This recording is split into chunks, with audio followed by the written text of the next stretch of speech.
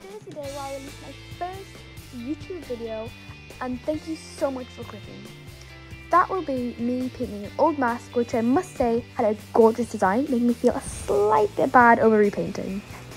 So first off, I went off and layered some old model with some nice white paint so I could very easily change the design to what I wanted. So I ended up just putting some nice pencil diamond shapes over the eye holes so I could paint them, fill them in black very neatly, which, spoiler alert, was not. I added some tape around the diamonds to make it a little bit more interesting, hopefully make it neater, which didn't end up being, but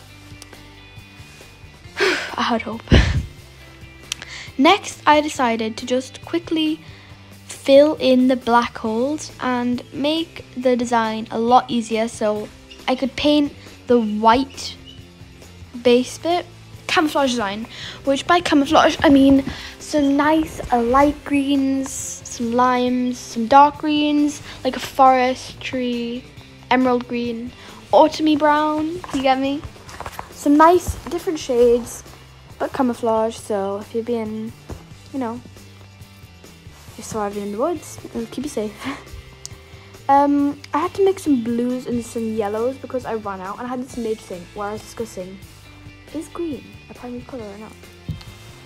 It's not. So don't think it is. It's not. Life lesson. It's not. Um, but anyway, so I took the tape off and I checked my mask, and I was like, ooh, it's looking good. Quick test, test, quick A little sidetrack my canaries. Then I decided to clean the brushes because you must always do this when painting because they end up looking tatty as. Uh, now I decided to try on my mask and she is canny tactiles. Um, quick mono of me, you know, showing the setup.